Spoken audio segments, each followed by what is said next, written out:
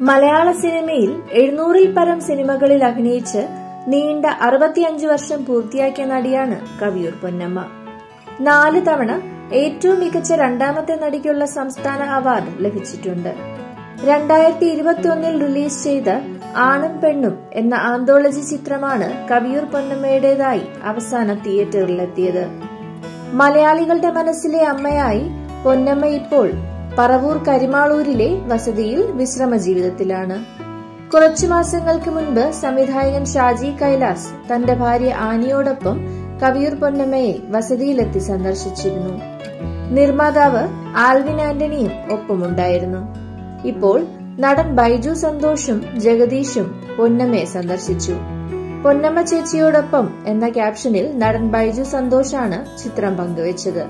നിരവധി പേരാണ് ആശംസകളും പൊന്നമ്മയുടെ ആരോഗ്യത്തിന് പ്രാർത്ഥിക്കുന്നു എന്നും അറിയിച്ചത്.